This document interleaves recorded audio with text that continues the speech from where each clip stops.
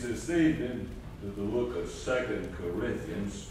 The book of Second Corinthians, chapter number 15. Now, this is not hard for Baptist folk, and when you found the place there, go to the book of First Thessalonians, chapter number 4. We come to the final night of uh, Jubilee for us preachers. And I've been coming here for a number of years, and I think this is one of the best. I say that every year. It gets better all the time. The older you get, the better things the Lord gets, you know. And I do appreciate, I do appreciate this church. And I appreciate the burden and the vision. I appreciate that message a while ago, didn't you? Yeah. We lead in Christ. Preacher, good preaching, Holy Ghost unction preaching. That's what I call that kind of preaching. I like it. I love it. I want to thank the pastor for allowing me to stay in their home here in Sister Valerie. They have treated me with royalty. Sister Valerie has fixed my meals up there. And I call it the Crane Hotel. I call it a plantation. Thank y'all. Have me in your home. It's been my joy and privilege there. And I certainly want to thank the pastor, Dr. Crane, for inviting me to come back again this year to preach. And I enjoyed that. Mm-hmm. And I want to thank you folks for coming to the Jubilee. If folk could ever get a hold of what's going on, you'd enjoy it a lot better. Then I want, I want to thank you for the good singing, people. Dear God, I'll tell you. I think you're the best of the best. That sounds like Bill Gaither, doesn't it? but you are. I like when y'all got together while we go in that choir. Only thing about you should have sung my song, Amazing Grace. You did that for me at the fellowship hall. I appreciate that. Then I want to thank you for all the preachers. They've done a good job preaching this week. I think every preacher's been on target. Uh, I just want to thank them for that. And uh, then I want to uh, thank the church here for supporting our ministry. God bless you for your faithfulness down through the years, prayerfully and financially. God bless you for that. Pastor Church, I want to thank you for that. Thank you for the offering. You're always good to this evangelist, and God bless you for it. Then I want to thank uh, Brother Don. He, he's done a good job over there in the kitchen and that crew, have they not? Amen. I think we ought to give them a hand.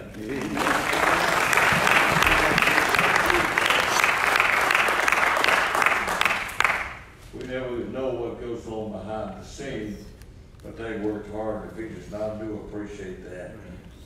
And so I'm looking forward to getting back next year if the Lord stage is coming and and uh, I'm able to get here. I'm looking forward to coming back. Amen.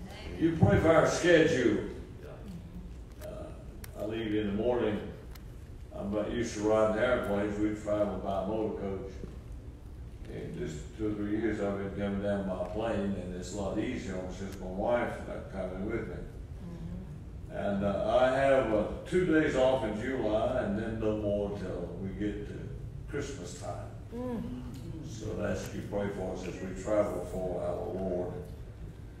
It's certainly a joy to serve the Lord. This little boy was playing church and he had a cat sitting in the chair preaching to that cat. And so his mom was cleaning the house. She looked out the window she's so proud of little Johnny because he's out there preaching to that cat playing church. She went about her housework and after a while she heard a terrible hissing noise. She went back to the same window and looked out and Johnny trying to baptize that cat. and she said, Johnny, don't you know cats don't like water? Said, but he thought about that. He should have thought about that before he joined my church.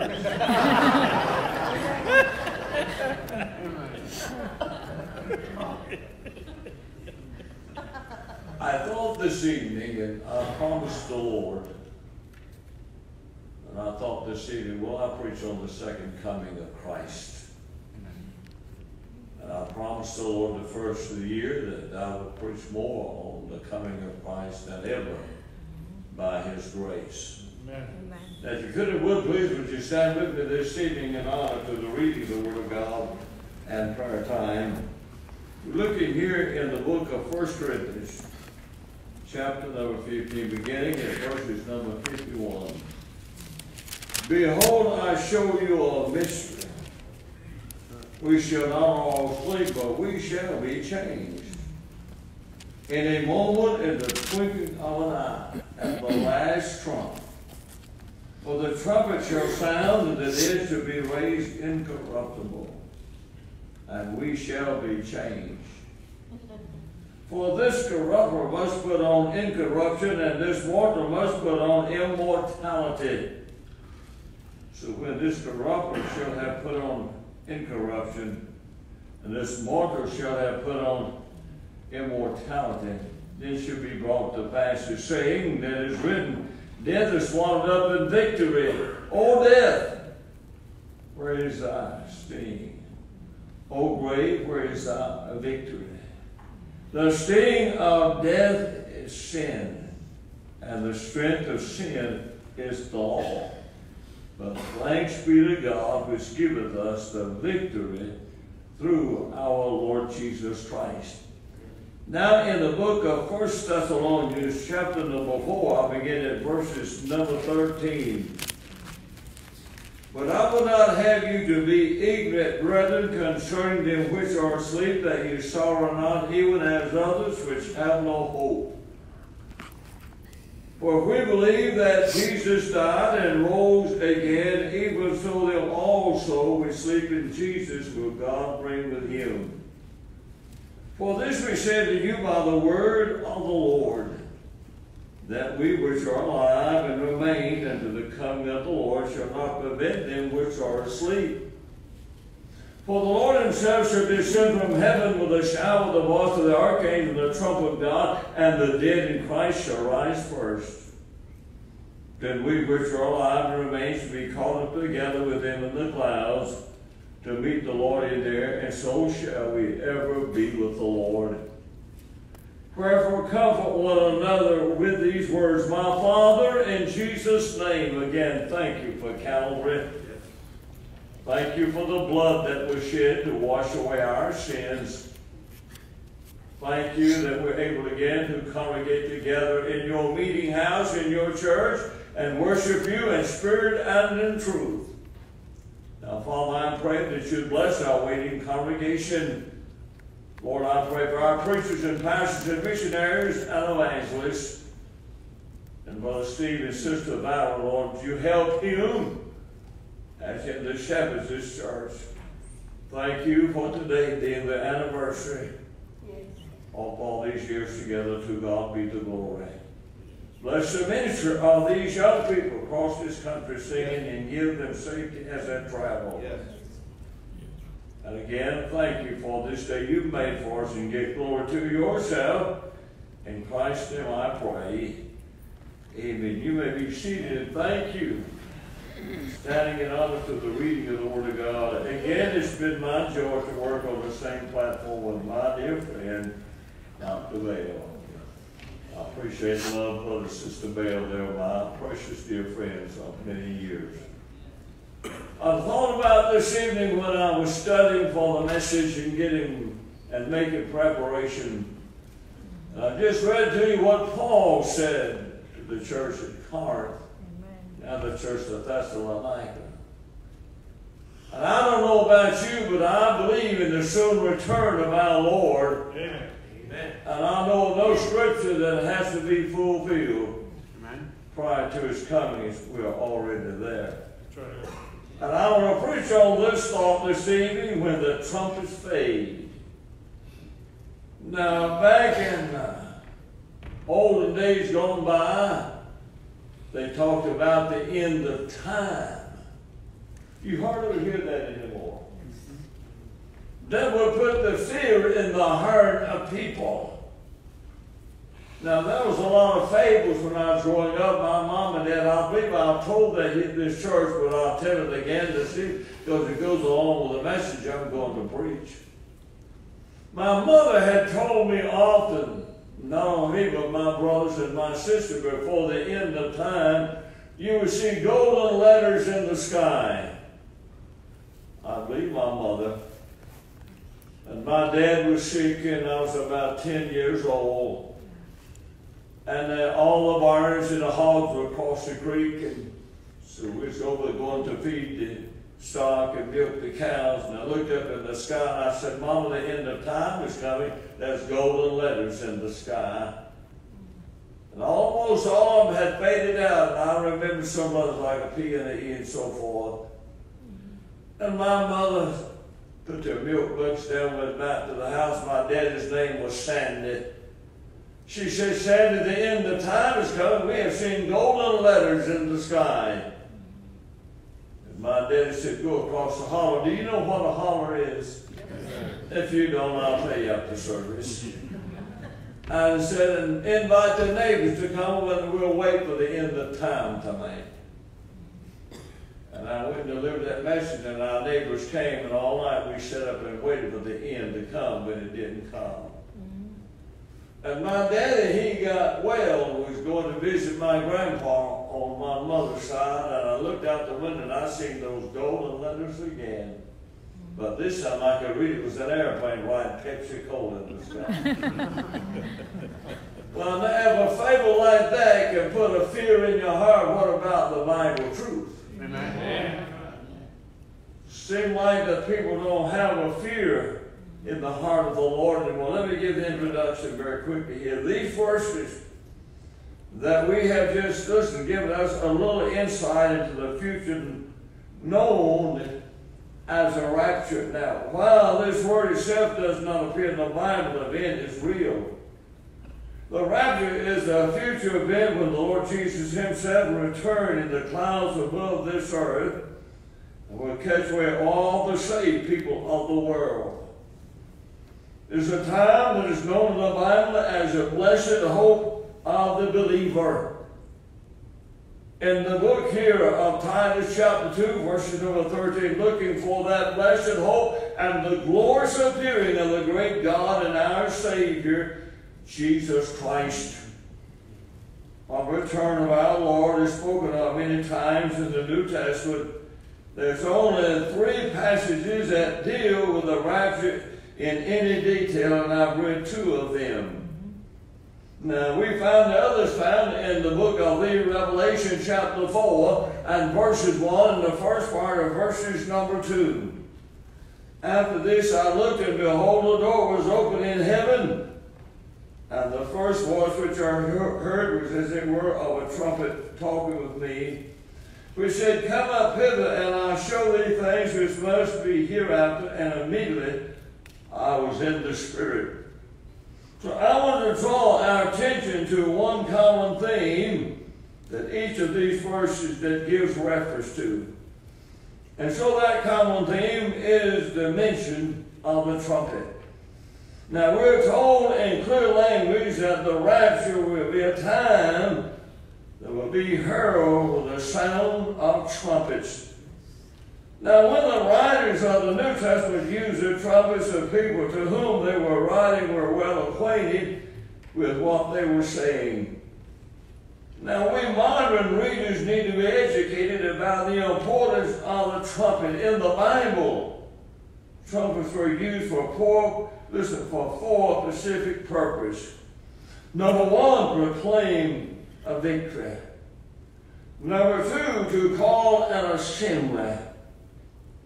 Then number three, to announce a warning. And then number four, to call the troops to battle. So it is clear to see how trumpets fit with the idea of the rapture.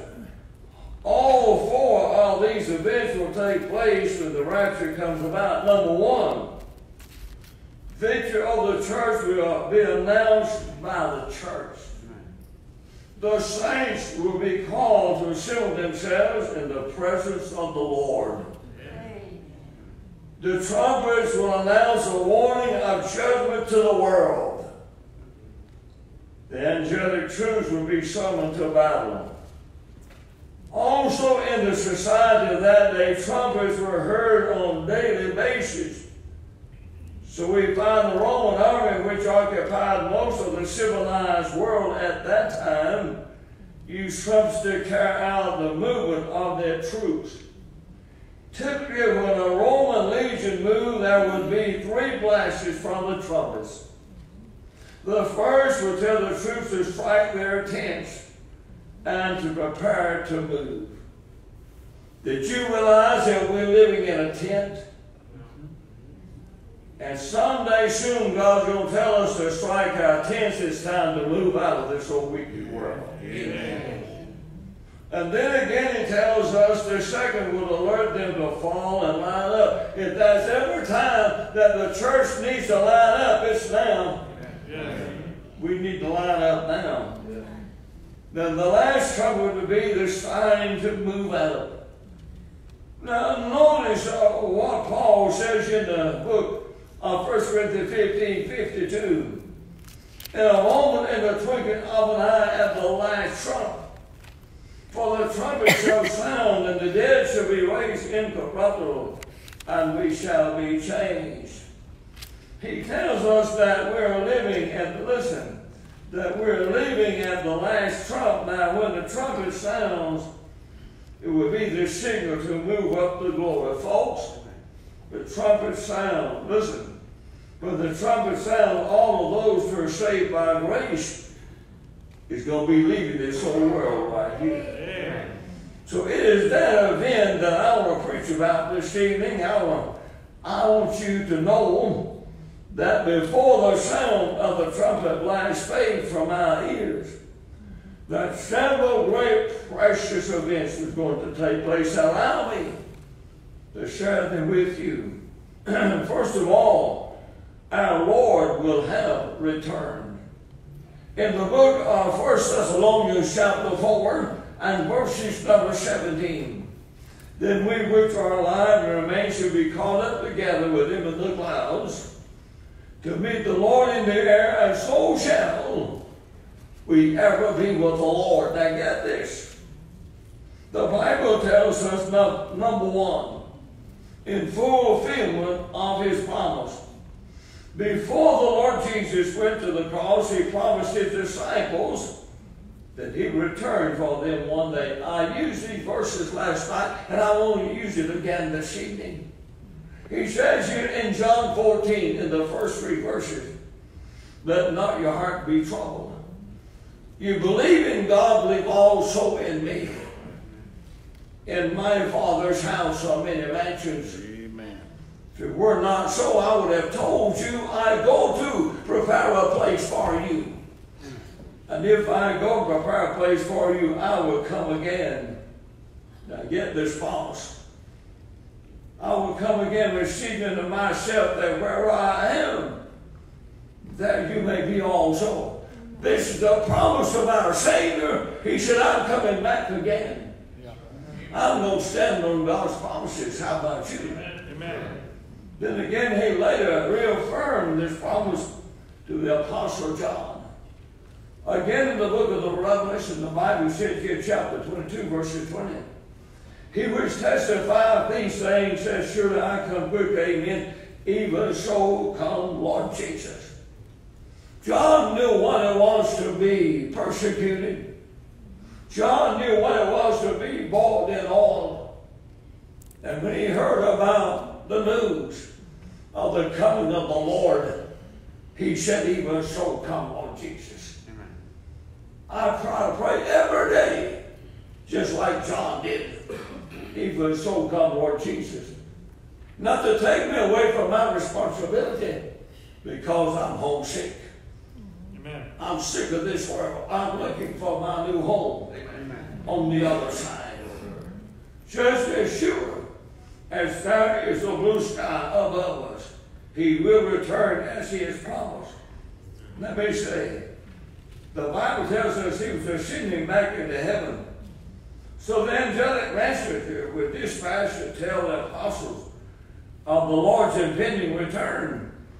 In Acts chapter 1 and verses 9 through 11, and when he had spoken these things while they beheld, he was taken up, and a cloud received him out of their sight. And while they looked steadfastly toward heaven, as he went up, behold, two men stood by them in white of pearl. Which also said, You men of Galilee, why stand ye gazing up into heaven? This same Jesus, Amen. not an impostor. But as you have seen him go away, he's going to return in like manner. The first time he came, he came to die for sinners like you and I. He came to die on an old rugged cross. But when he comes the next time, he's not coming back to the earth. He's coming in the clouds. He's going to call his church out to meet him. Those and the church is those who have been washed in the blood of the Lamb fold. But not an impostor, but this same Jesus. He said also, which is taken up from you into heaven, shall so come in like manner as you have seen him go into heaven. So heaven has been silent. But one day God is going to break that silence with a sound of the trumpet. Jesus is coming. He's going to come. Then again, the Bible said, number two, in fulfillment of his purpose. While the Lord was making his promise to return someday, he also stated his purpose here in John 14 3. And if I go and prepare a place for you, oh, I'll tell you, this is shouting around right here. Amen. And if I go and prepare a place for you, I will come again. Yeah. But not only am I going to come again, but I'm going to receive you unto myself. Amen. That where I am, Amen. there you may be also. Amen. If that don't help you, your wood's wet, Yes. your crank is broke. That's right. Amen. I'm looking for him to come. How about you? Then we found also the Lord's desire to receive his bride unto himself. The Bible says in Ephesians chapter 5, 25 through 27, Husbands, love your wives, even as Christ also loved the church and gave himself for it, that he might sanctify and cleanse with the washing of the water by the word, that he might present to himself a glorious church, not having spot or wrinkle or any such thing, but that it should be holy and without blemish. The pastor and I, this year, was sitting in his living room talking about the return of our Lord. And I said, let me give you my idea how it's going to happen. How things are going to happen in glory. That will take a moment. Now, this is Noah preaching. I'm not getting, it's not the Bible. This is Noah preaching. I believe, I believe, when the church gets home, and I believe that we're going to hear the angels sing. And I don't know how long they're going to sing, but they'll sing for quite a while, I'm sure. But we're going to say, we have never heard nothing like that. When they finally sit down, I can see the Lord in my mind bow before God Almighty the throne. And he'll say to the Father, I want to present my church to you without spot or wrinkle. Amen. And I believe we'll stand there and he'll lead us in that great song of amazing grace. How sweet this sound that saved a wretch like me. Amen. Now that's my version of it. It's good preaching anyway. One day, uh, the church will be without spot or wrinkle. And then again, the Bible said, number two, all departed saints will have been, re- listen, have been resurrected. The Bible says in the book of 1 Thessalonians chapter 4 and verses 13 through 16, but I will not have you ignorant, brethren, concerning them which are asleep, that you sorrow not, even as others which have no hope. For if we believe that Jesus died and rose again, do you believe that? Amen. Even so, them also which sleep in Jesus will God bring with him. For this we said to you by the word of the Lord, that we which are alive and remain unto the coming of the Lord shall not prevent them which are asleep. For the Lord himself shall descend from heaven with a shout of the voice of the archangel and with a trump of God, and the dead in Christ shall rise first. Now in 1 Corinthians 15, 52, for this corruptible must put on incorruption, and this mortal must put on immortality. Then number two, you think about there a condition. In the book of 1 Thessalonians 4.13 tells us that those saints who have departed are asleep. This does not refer to soul sleep. It refers to the fact that their bodies are asleep. When a saint of God leaves this world, they're immediately ushered into the very presence of the Lord.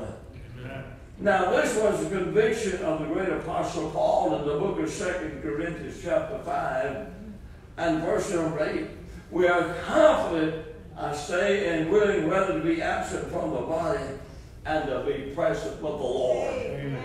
Again, the Bible says, Philippians 1.23, For I'm in a strait betwixt two, having a desire to depart and to be with Christ, which is far better. Now, presently, all of those who left this world in a saved condition are in the very presence of the Lord Jesus Christ.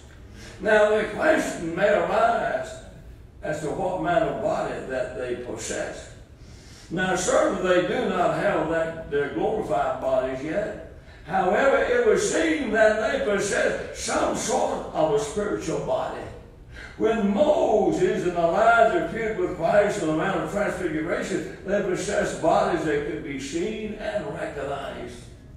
In Matthew 17, and behold, there appeared to them Moses and Elijah talking with him. Whatever form they're in, they're certain a place they are free from all pain and burdens of this world. That's got to be wonderful to just stand in the presence of God where there is no burdens to carry and no pain to bear. Again, the Bible tells us it's very clear when it teaches us that nothing that defileth shall enter into heaven. A man came to me one time and he said, I've been married four times. When we get to heaven, which one's going to be my wife? I said, neither one of them. Boy, guess what? When you preach like that. Because no flesh and blood should inherit the kingdom of God. We will not be known in the flesh, but Hebrews said known as we're known in spiritual bodies, in spiritual attitude. Now I must go on. The Bible says again now, Revelation 21, 27. And there shall no wise enter into anything that defileth, neither whatsoever work of abomination, or make the lie, but they which are written in the Lamb's book of life. Then I want you to notice a promise completion you now. I like that message, in him we're complete. First Corinthians 15, 52. In a moment, and the twinkling of an eye, at the last trumpet, the trumpet shall sound, and the dead shall be raised incorruptible, and we shall be changed. Now, this tells us that the departed saints will be raised incorruptible. That is, they'll be changed when they left their body. It was this time for the ground from which he came. However, the Lord Jesus returned, he'll bring those spirits back with him.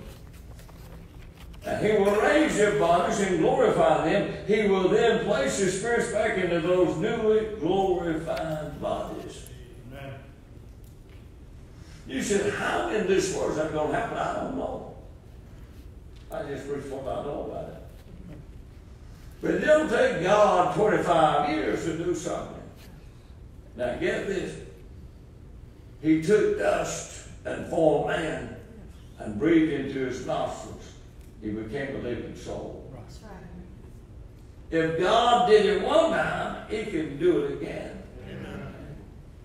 And listen, maybe in a fire or cremation, maybe it's just ashes, maybe even buried at sea.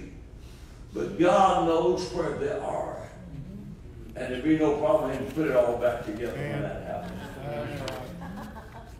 Now that's going to get exciting, ladies and gentlemen. Now, I'm not a hyper but let me share something with you. There's over 7 billion people on this earth. And God said, every hair in your head is numbered, and I know every time one falls. There is not one of us identical. Yet there's every grain of sand in the sea. And out of the sea, God knows what side He laid it on today. The scientists that cannot count the stars, but God knows them by name. Are you with me? They say, I'm talking about God. I'm not talking about Baptists, I'm talking about God. Amen. God knows all this. Yes.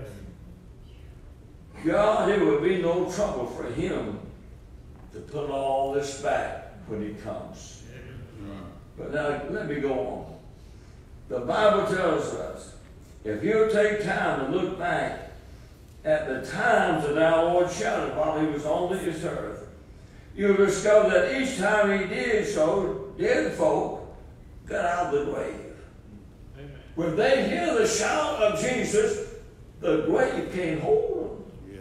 Yes. Amen. They crucified Jesus and sealed him off and placed soldiers there, but death could not hold him. Amen.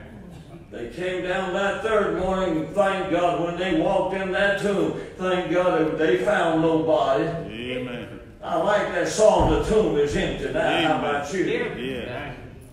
Now, the Bible tells us very quickly here. He shouted in Bethany, Lazarus has been dead four days. He got up from the dead. You believe that? I do. Amen. Amen. Yes, sir. Number two, he shouted at Calvary. The dead got up and walked around. Right. Mm-hmm. Every time God shouts, something gonna happen. Amen. And then also he shouted from the clouds, and long departed saints will live. That shall come. Number three, all living saints will have been raptured. First Thessalonians chapter 4, 17, then we which are alive remain shall be caught together with them in the clouds to meet the Lord in there, and so shall we ever be with the Lord. Now 1 Corinthians 15, 51, 52, Behold, I show you a mystery, we shall not all sleep, but we shall be changed in a moment, and the twinkling of an eye, and the last trumpet, the trumpet shall sound, and the dead shall be raised incorruptible, and we shall be changed. First of all, you, the church, will leave instantaneously. Now, I want you to notice the use of the words that imply speed and swiftness. And the book of 1 Corinthians, 1 Corinthians 15, 52 talks about a moment. The word speaks of an individual, a point in time, a span of time so short that there is none shorter than the twinkle of an eye. Now, the scientist has determined that the blink of an eye is one third of a second of duration.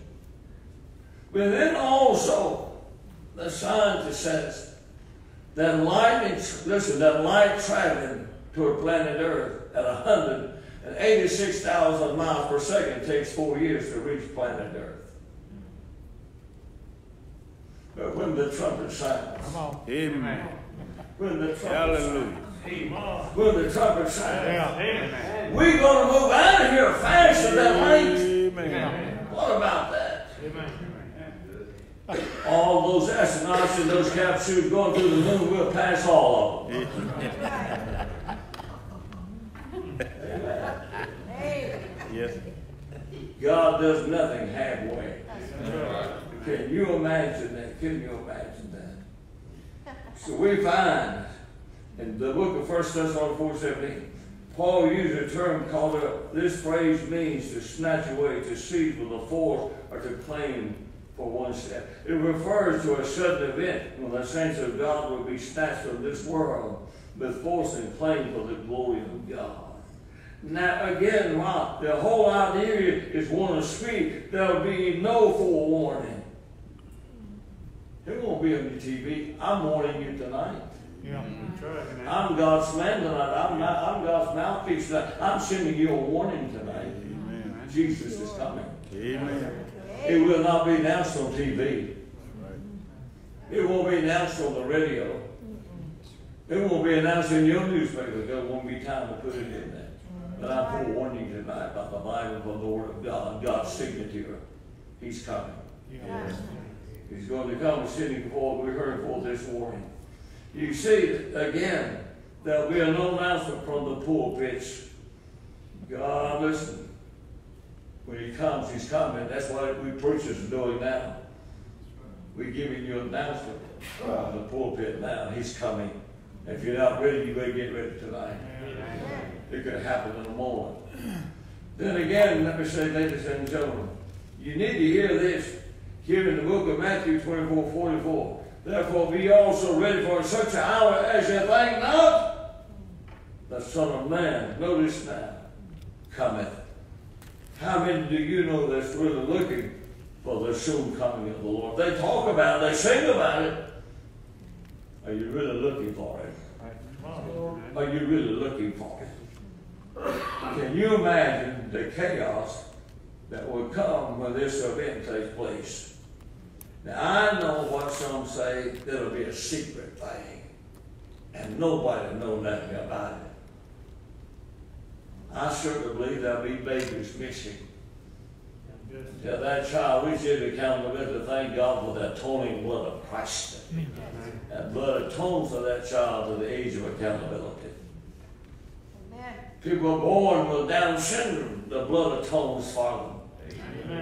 Are you with us, old preacher, tonight? Yeah. Amen.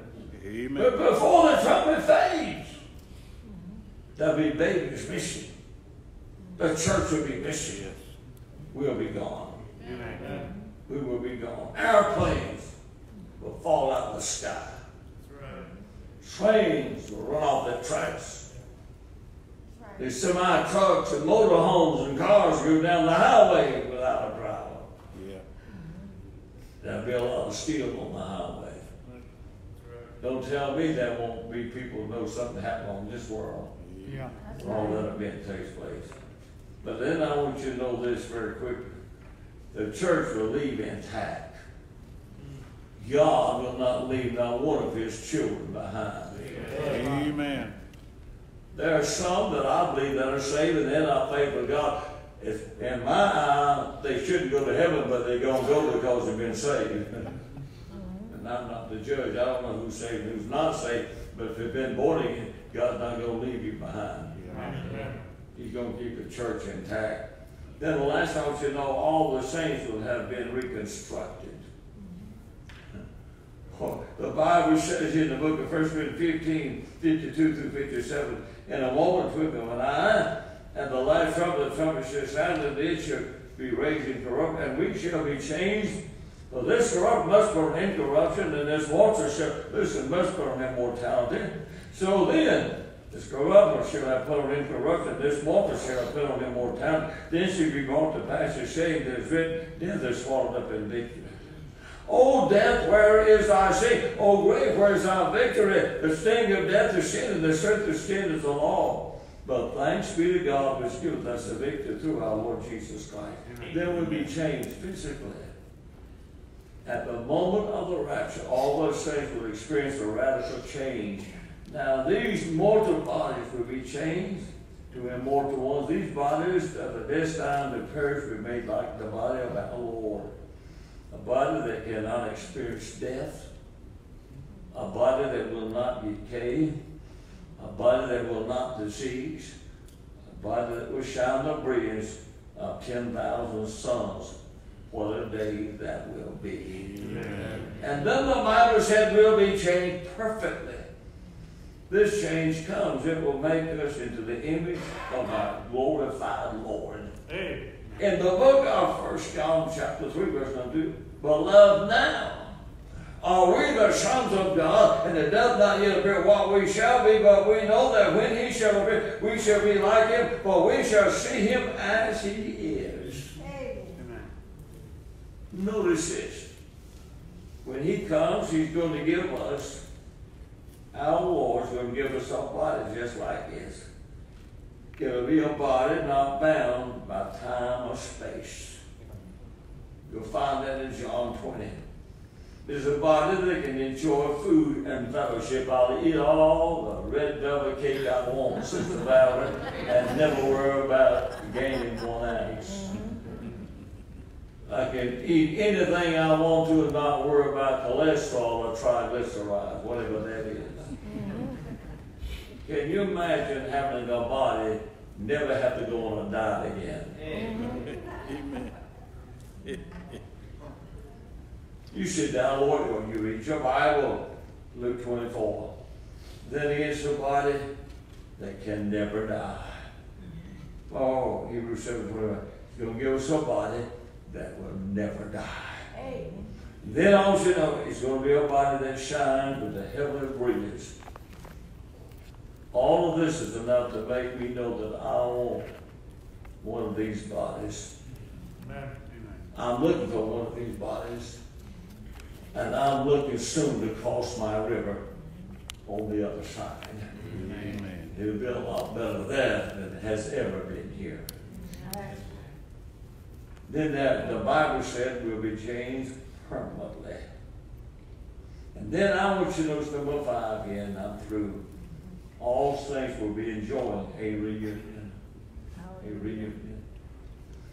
The Bible says in the book of First Thessalonians 4 17, then we which are alive and remain should be called up together with him in the clouds to meet the Lord in the air, and so shall we ever be with the Lord. Amen. We'll be with our loved ones. Notice the phrase together with them in the clouds. That just, this indicates that all the children of God will be together forever in heaven. Amen. Ladies and gentlemen, in my lifetime, I have buried three congregations. Mm. I pastored 42 years. Evangelism working on 21 years now. I have buried three congregations. Mm. All of my family, immediate family, my brothers, my mom and dad, and my sister, they're in heaven. My wife and I have a daughter over there. Not count other kinfolk, not count people I've pastored. There's got to be a reunion one day. We're gonna get together, whether we'll die and separate from more. Hallelujah. Amen. Amen. I traveled to the state of Vermont for 24 years from my house to St. Johnsbury, Vermont, a thousand miles. And you travel over some of the roughest road in North Country. I went there when I was a pastor in evangelism. We have built church in the northern part of Vermont. And then four years ago, the Lord laid on my heart to bring my meetings closer home, and, and so I canceled out of there. I hadn't seen some of my friends in four years. Make a point here. Of the that I preached for had moved away. He left the church, went to Minnesota. We've become dear friends down through years. And we had been together in four years. My grandson was having a jubilee and he canceled that and I didn't book that week. I said to my wife, let's go back to Vermont one more time. I might get a emotional here. And meet our friends one more time on this side. She said, all right. I called my friend in Minnesota and I said, I know you're sixteen hundred miles away. Is it possible that we all meet in St. Johnsbury, Vermont, one more time? Week before last, that became a reality. We all met Amen. that comfort in. Went to the church I traveled to for twenty-four years, Pleasant Street Baptist Church. Pastor his wife now, of the blind, but this is what blessed my heart. Even though he can't see, he said, I'll not give up my church. I've hit enough word in my heart down through the years, I'll keep on pastoring and preaching. That's what it's all about. But this, when I got home, I wept when my friend sent me a message on Facebook and said, so long, old friends, what time we had. I don't like that word. But you know what, one day we'll never say that again. Amen. We'll never say. In a few moments, I want to shake your hand. And how true this is, we may meet again here, or we may not. But you say we'll meet there. We get to heaven, we'll never use that word again. Amen. But you're not only that, not only that, but what about our Lord? Not only will we be our family,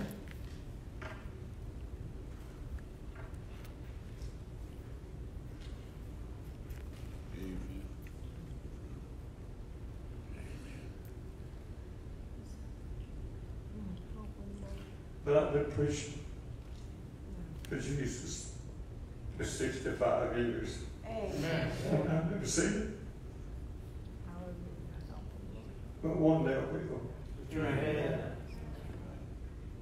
Through all the valleys and all the heartaches, Yes, sir. I want to tell you, it's worth the journey. Amen. It's worth all the burdens and all the heartaches because one day we'll be with him forever and forever. And that's why I believe in the soon return of our Lord. He's going to gather us all together. Would you stand all over the church? Our pastor's going to come. Father, thank you for this jubilee.